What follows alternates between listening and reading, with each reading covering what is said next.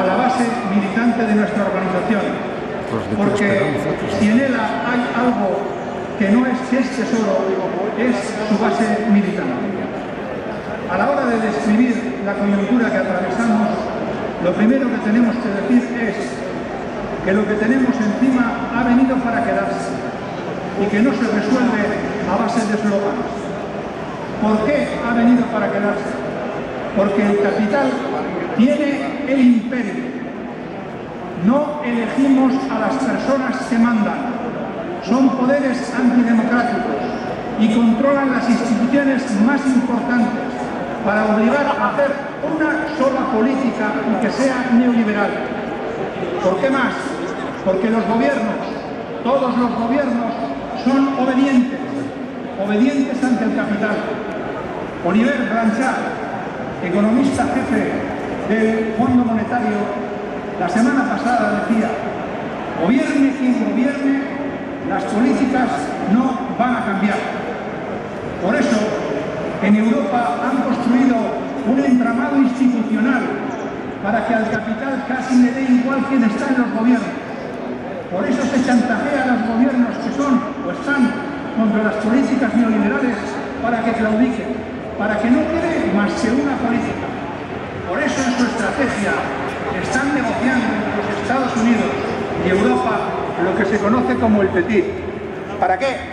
Para quitarle al capital todos los obstáculos que impiden hacer negocio en esta globalización estrictamente neoliberal. El chantaje de Grecia.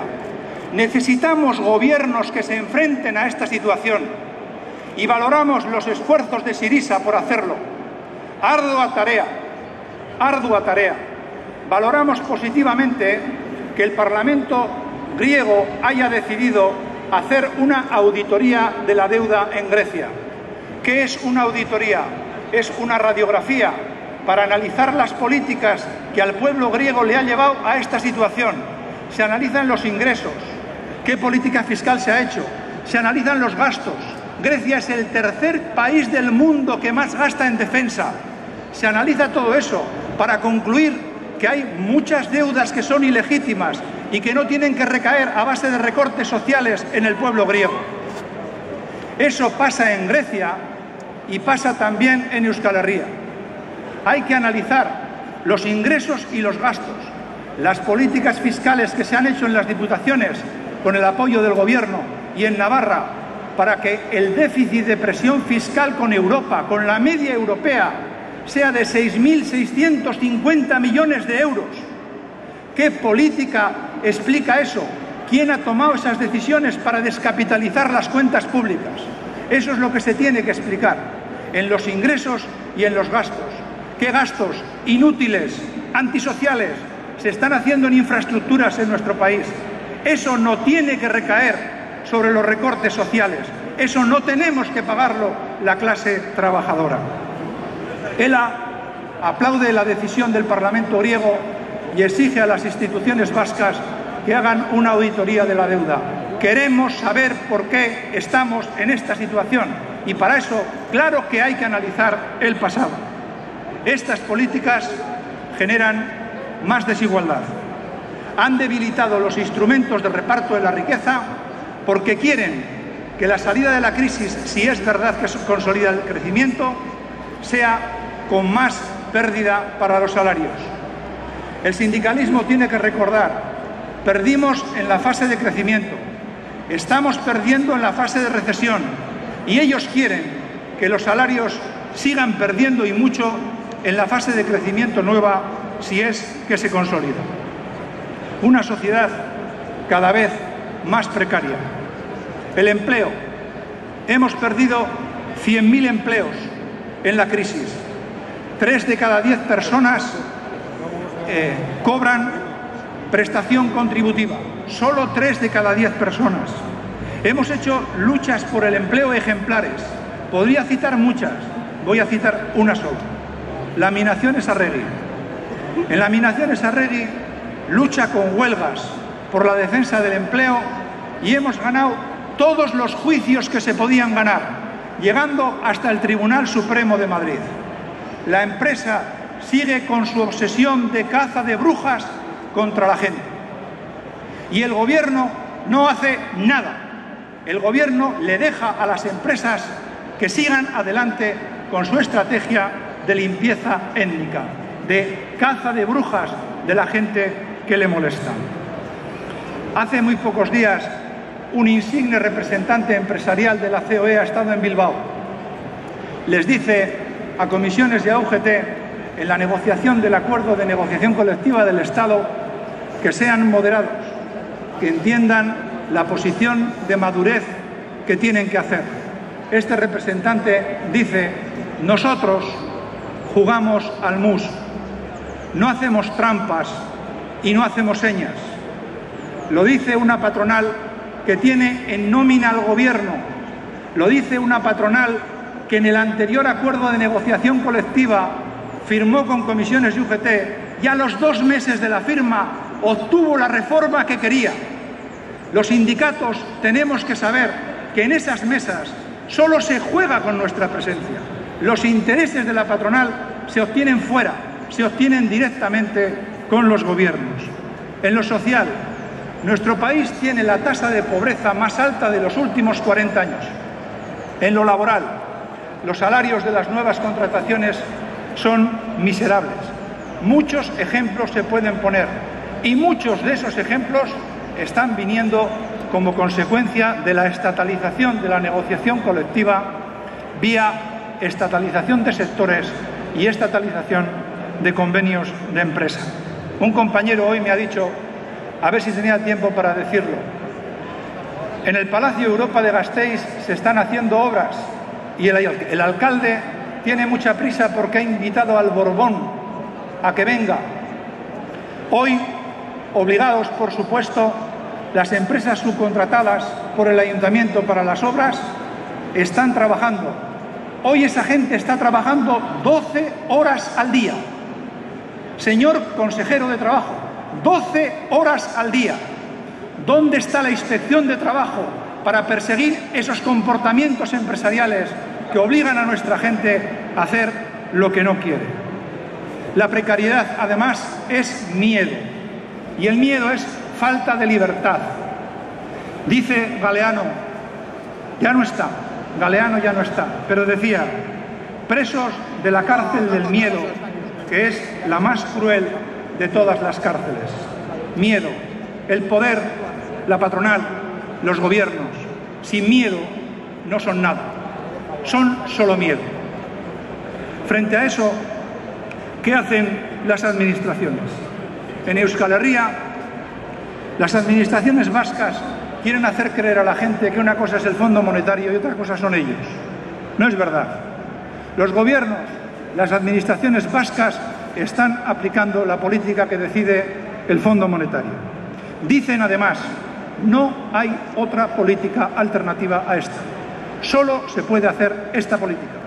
La pregunta que cabe hacerse es, si no hay otra política posible ¿Qué sentido tiene hacer elecciones políticas?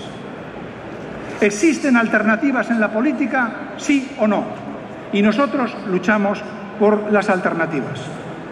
El gobierno vasco, por ejemplo, igual que el gobierno navarro, aplica la disciplina presupuestaria que acuerda con Rajoy, déficit y deuda, destruye empleo en Osakidecha, en Iracascuncha, en EITB, destruye la negociación colectiva, destruye dicho empleo, se niega a abordar el tema de la fiscalidad, aplica recortes y eso sí, consejos para afuera.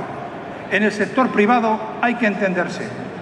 No hay ninguna razón que justifique, ninguna razón que justifique que el movimiento sindical esté presente en mesas que solo son teatro. Ninguna razón. ELA exige a las instituciones políticas para que recorten las desigualdades sociales, porque las políticas que están haciendo están aumentando las desigualdades sociales. Esa es nuestra función en la sociedad. Gobierno de Navarra. En Navarra, distinguir dónde empieza lo político y dónde empieza lo económico es imposible. Es un régimen. En Navarra, el cambio político y social es muy difícil. No se puede banalizar la dificultad del cambio político y social. El cambio político y social no es solo ganar elecciones, es importante ganar elecciones a quienes están en el gobierno aplicando derechas políticas ultraliberales, pero no solo ganando elecciones, como se está viendo en Grecia, se, da el cambio político y social. No nos parece una pedagogía correcta decirle a la gente que solo ganando elecciones se posibilita el cambio político y social. Y en las diputaciones, las diputaciones vascas son un reino de opacidad. En las diputaciones vascas la opacidad es completa. La política fiscal está secuestrada por la patronal y se debería analizar también la puerta giratoria que determina que un alto cargo de la patronal pase a ser diputado de Hacienda y que un diputado de Hacienda pase a ser alto cargo de la patronal. ¿Qué más hacen contra nosotros? Atacar las identidades colectivas. Queremos recordarle a la gente que está en los gobiernos en nuestro país que las injusticias existen y que el conflicto social es una consecuencia de las injusticias. Porque en las sociedades donde hay injusticias y no hay conflicto social, lo que hay es una dictadura.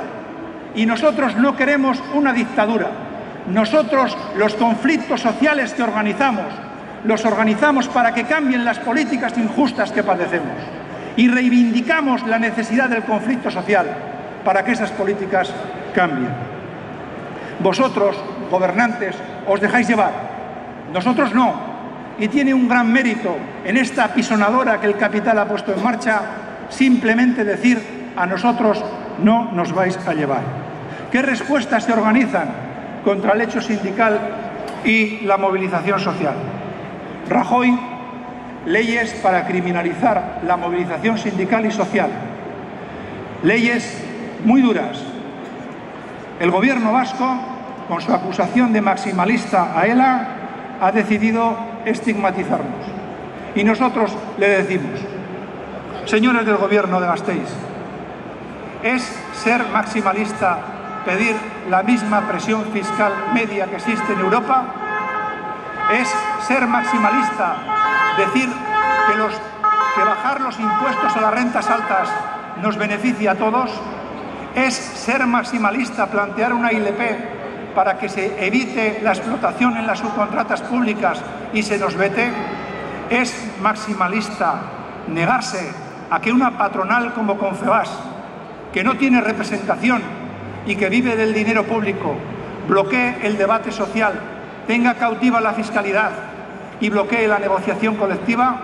Para nosotros es la realidad que vivimos. Es cualquier cosa menos maximalismo.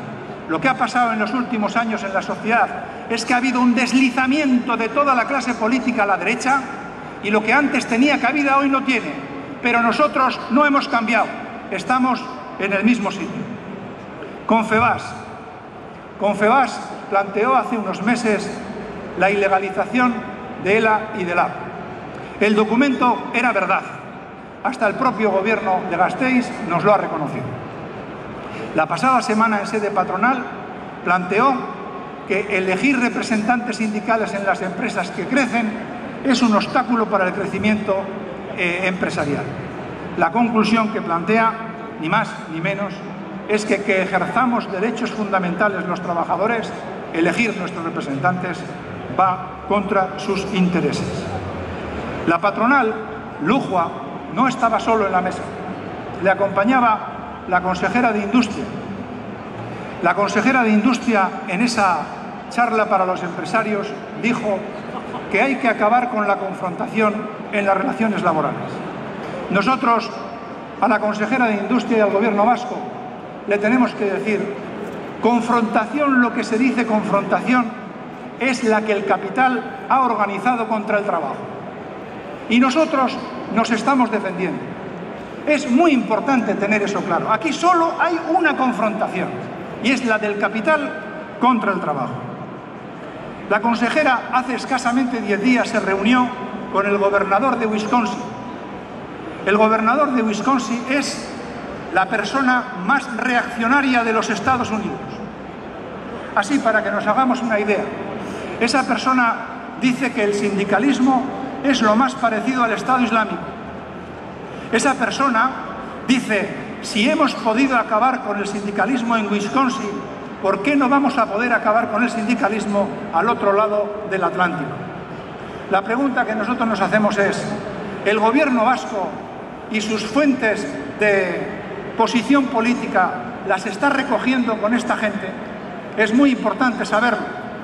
¿A qué viene esa relación? Porque lo que sí sabemos es que el gobierno está siempre con la patronal. En Estados Unidos, en 23 estados, se han aprobado en los últimos años leyes muy antisindicales. ¿Sabéis qué dice el sindicalismo americano sobre lo que está pasando en esos estados? Leo textualmente. Estados con esas leyes, los salarios son un 15% inferiores a los del resto. Existe peor cobertura sanitaria y de pensiones. Hay más siniestralidad laboral, más pobreza y una tasa de mortalidad infantil